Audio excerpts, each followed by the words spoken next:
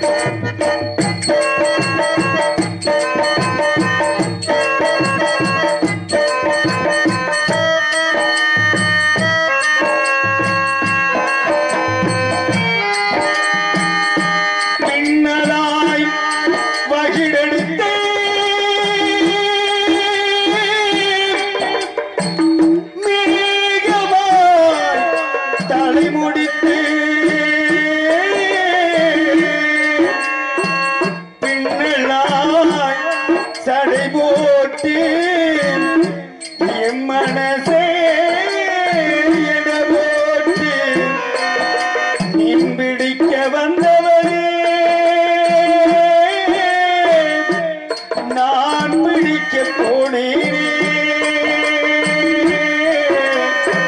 மையெழுதும் கண்ண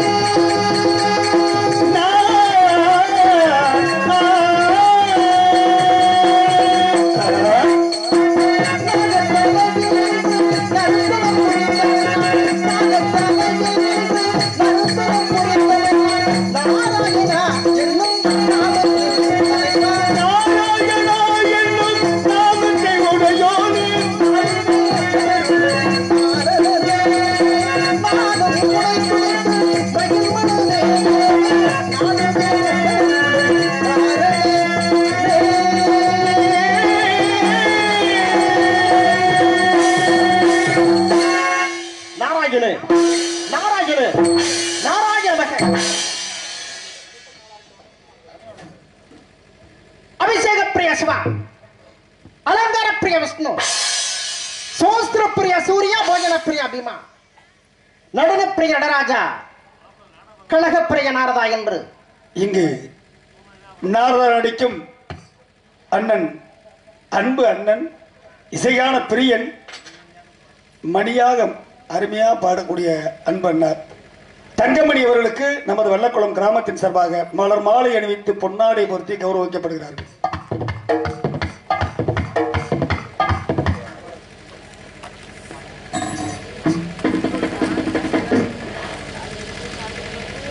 மாலை அணிவித்தும் பொன்னாடை போர்த்தியும் சிறப்பித்த விழா கமிட்டியாளர்கள் இளைஞர் பெருமக்கள் இந்த நிகழ்வுக்கு ஒத்துழைப்பு கொடுத்து கொண்டிருக்கக்கூடிய அத்துணை நல்ல அன்புள்ளங்களுக்கும் என் சார்பாகவும் கலைக்குழுவின் சார்பாகவும் குறிப்பாகவும் சிறப்பாகவும் சொல்ல வேண்டுமேனால் எந்த பகுதிக்கு எப்படிப்பட்ட நடிகர்களை கொண்டு வந்து சேர்த்தால் அந்த பகுதி சிறப்பாக இருக்கும் என்று தன்னுடைய மதிநுட்பத்தாலே அறிந்து அரிய பெரிய கலைஞர்களை அழைத்து வந்து எங்களுக்கும் உங்களுக்கும் பெருவடுத்திக் கொண்டிருக்கக்கூடிய அன்பு சகோதரர் இந்த நாடகத்தினுடைய அமைப்பாளர் பேர காண்டீபம் அவருடைய சார்பாகவும் மீண்டும் ஒருவரை பணிவார்ந்த வணக்கத்தையும் நன்றியையும் உறுத்தாக்கிக் கொண்டு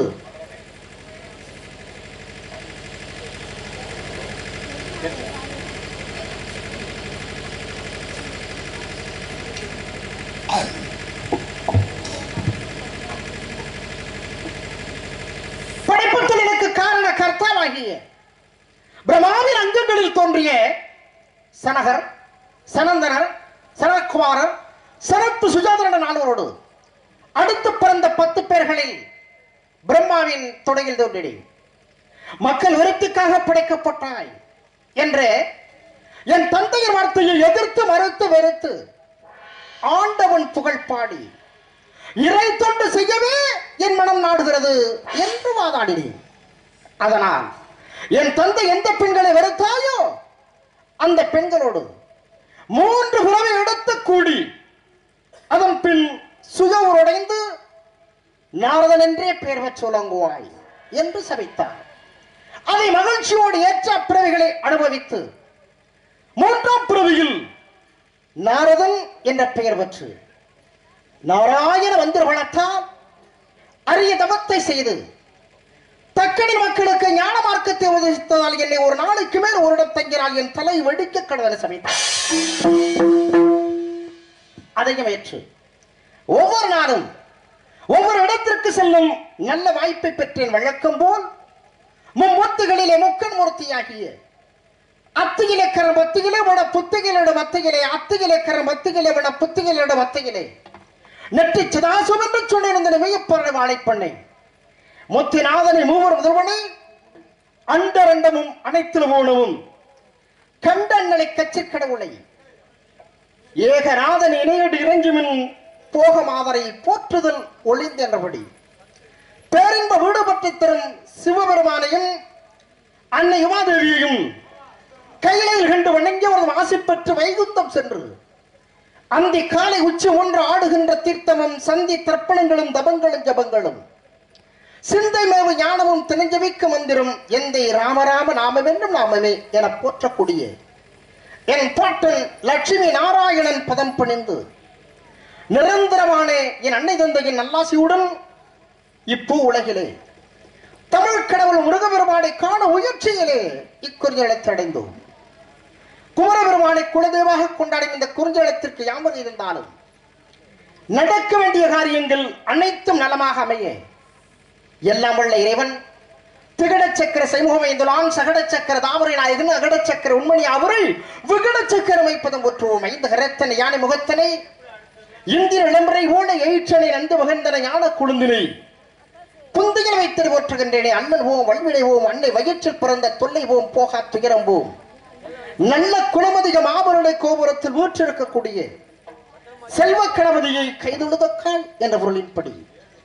பாடும் தெளிதேனும் பாக்கும் பருப்பும் இவை நாளும் கலந்தனுக்கு நான் கோலஞ்சி துங்க கரிமுக தூமணியே நீ எனக்கு சங்கத்தமிழ் மூன்றும் தா என்று முறையாக கேட்ட தமிழ் மூதாட்டி அவை வணங்கக்கூடிய அந்த ஆணைமுக பெருமானை வணங்க வேண்டும் என்றைக்கு எத்தனையோ நிகழ்ச்சிகள் இருந்தாலும் இந்த வள்ளி திருமணம் என சொல்லக்கூடிய நாடகத்தினை ஏற்பாடு செய்து இந்த நாடகத்தில் எங்களை எல்லாம் நடிக்க வைத்து அழகு பார்த்து பெருமைப்படுத்திக் கொண்டிருக்கக்கூடிய அற்புதமான ரசிகர் கூட்டங்கள் நீங்கள் எல்லாம் மென்மேலும் பல்லாண்டு பல்லாயிரத்தாண்டு வாழ்வாங்கு வாழ வேண்டும் என்ற மனதார வாழ்த்தி இப்படிப்பட்ட இந்த இடத்திலே ஆத்தாலை எங்கள் அபிராம வள்ளியை அண்டமெல்லாம் பூத்தாலை கண்ணடங்க காத்தாலை மாதுளம்பு நிறத்தாலை தொழுவோருக்கு ஒரு நாளும் தீங்கு இல்லையே என்று சொல்லக்கூடிய வகையிலே அந்த அம்பாலை அந்த பராசக்தியை அந்த மகாமாரியை இந்த நேரத்திலே வணங்க வேண்டும். மஞ்சளிலே நீராடி குங்குமத்தால் பொட்டு வைத்து இந்த மக்களை எல்லாம் காத்து ரட்சித்துக் கொண்டிருக்கின்றாளே அந்த மகாசக்தி அவளை வணங்க வேண்டும். எப்படி